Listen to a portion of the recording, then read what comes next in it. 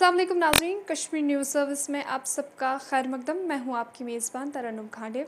नाजरीन Kashmir news service में आज हम जिनसे जिनकी मुलाकात आपसे कराने जा रहे हैं वो है नेशनल कॉन्फ्रेंस की कश्मीर प्रोविंस के आ, youth provincial president Salman Sagar sir. आइए इनसे बात करें। खैर मकदम से शुक्रिया बहुत बहुत जैसा कि सबसे पहला जो क्वेश्चन मैं आपसे जानना चाहूँगी कि एनसी का जो रोड मैप रहेगा अगर वादी कश्मीर में इंतबात के बगल बजती है तो क्या रहेगा आपका?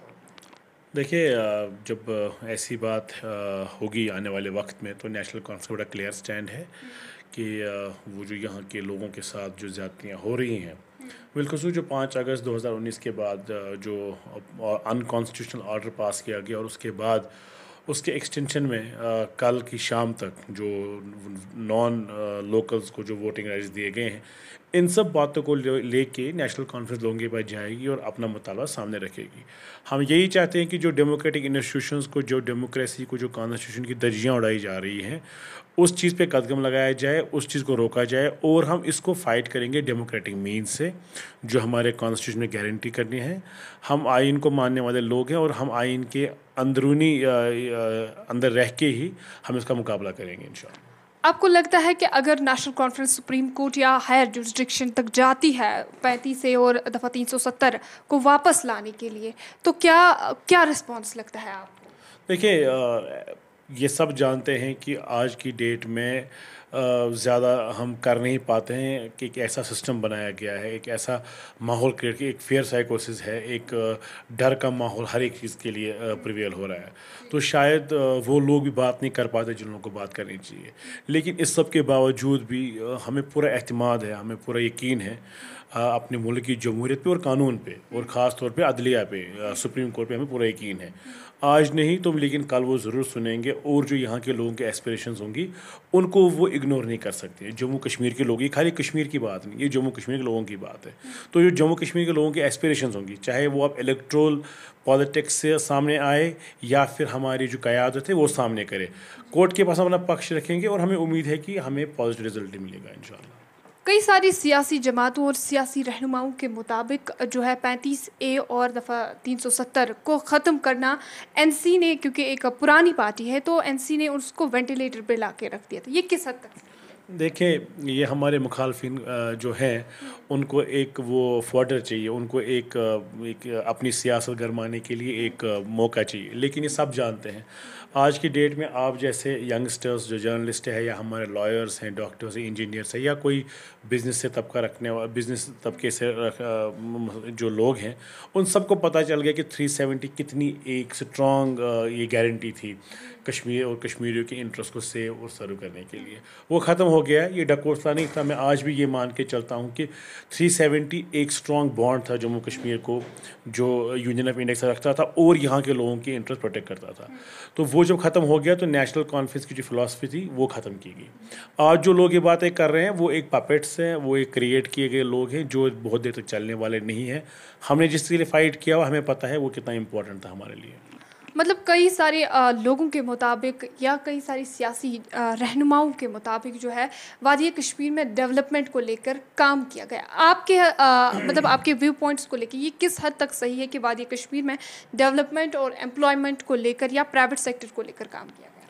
ये हम आम, आप मुझसे मत पूछिए आप एक आम आदमी से पूछिए कि डेवलपमेंट कहाँ हुई है। मुझे लगता है जो तीन साल पहले आपने रोड्स देखे हैं, जो तीन साल पहले आपने बिल्डिंग्स देखी है, जो तीन साल पहले आपने अस्पताल देखे हैं, आज की डेट में भी वही अस्पताल है, वही रोड्स है वही नेटवर्क है। आज की डेट में सिर्फ़ लोगों को दबाने का काम किया जा रहा है जमहूरियत की जमहूरी कदरों को पामाल किए जाने का काम किया जा रहा है, और एक मज़हब की बुनियाद पर लोगों को डिवाइड करने का काम किया जा रहा है। शेर कश्मीर ने चाहे वो हस्पताल चाहे वो एजुकेशन, चाहे वो लैंड टू टेलर किया था और उसके बाद जो इलेक्टेड गवर्नमेंट्स थी, उन्होंने वक्ता फ़ौकता सत्तर साल जो इंफ्रास्ट्रक्चर क्रिएट किया था, वही आज की डेट में सामने है। पिछले तीन साल में ऐसा कुछ भी सामने नहीं आया जो हम बोल सकते हैं तरक्की के नाम पे कोई ऐसा सिलसिला चला है। तो ये एक धोखा है डकोसला है। और ये कर भी नहीं सकते क्योंकि ये यहाँ के लोगों की वो, जो उम्मीदें हैं, जो डेवलपमेंट, जो रिक्वायरमेंट्स है, वो अवेयर ही नहीं क्योंकि पब्लिक रिप्रेजेंटेटिव कोई है ही नहीं। वो कयादत जो करने वाले लोग हैं, वो है ही नहीं। तो इसलिए इनको कॉन्सेप्ट है ही नहीं डेवलपमेंट का। अगर कल के ऑर्डर्स को लेकर बात करें तो कहा जाता है कि 25 लाख वोटर्स आएँगे। और अगर देखें तो इलेक्शन कमीशन ने भी क्लियर करके रखा है कि अगर स्टूडेंट्स के हवाले से बात करें या किस किस कैटेगरी को लेकर उन्होंने एक क्लैरिफाई एक प्रेस कॉन्फ्रेंस दी है, एक नोटिस जारी की है कि कौन यहाँ पे वोट कर सकता है। उस डिसीज़न को नेशनल कॉन्फ्रेंस किस तरह ये कंडेमेबल है और आ, मैं कहूँगा कि अनएक्सेप्टेबल है जम्मू कश्मीर जम्मू कश्मीर के लोगों के लिए। आप 22 या 25 लाख लोगों को ऐड कर जबकि अगर हम एक छोटे मोटे आंकड़े देखें तो दो मेजर रीजनल पॉलिटिकल पार्टीज़ को 2014 के इलेक्शन में 20 या 22 लाख वोट ही पड़े थे। तो जब आप 22 लाख वोट ऐड कर रहे हैं तो आप अल्टीमेटली जो रीजनल एस्पिरेशन है उनको ख़त्म कर रहे हैं। हमें ये समझ नहीं आता है कि आ, सरकार और जो भाजपा इस वक्त सरकार चला रही है उनका मकसद क्या है? वो क्यों अपनी मतलब अपने ही लोगों को इतना परेशान कर रही यहाँ के लोगों के खिलाफ के जो उनकी एस्पिरेशन और उम्मीदों के खिलाफ है क्यों काम कर रही है? हम इसको अपोज करते हैं टूथ एंड नेल अपोज करते हैं अनएक्सेप्टेबल है और हम इंश्योर करेंगे कि लोगों तक ये बात जाए कि ये यहाँ के लोगों के मुफाद में नहीं है। लेकिन ये मान के चलते हैं कि हम डेमोक्रेटिक मीन से ही इसका जवाब वापस दे देंगे। As a youth provincial uh, president, how do you see a youth of Jammu Kashmir is going? देखिए, ये बहुत एक स्ट्रॉन्ग मतलब ये जो ये जो हमारा मरहला चल रहा है पॉलिटिक्स का, ये बहुत सेंसिटिव है।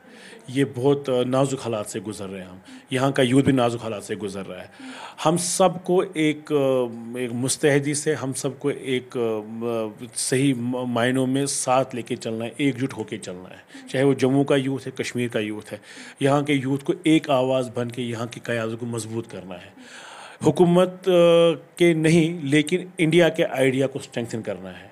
डेमोक्रेसी को स्ट्रेंथन करना है तब जाके हम within system within framework of constitution हम अपनी बात कर सकते हैं। आपको लगता है कि हमारा यूथ जो है overall Jammu Kashmir they are happy with the democracy और whatever is happening in the political absolutely not कोई खुश नहीं है। अगर कोई uh, ये समझता कि कोई खुश है वो गलत फहमी में है। He must be living in fool paradise ऐसी कोई बात नहीं यहाँ के लोग चाहे वो बुज़ुर्ग हो छोटे हो मर्द हो जन हो बिलखसूस यूथ हो।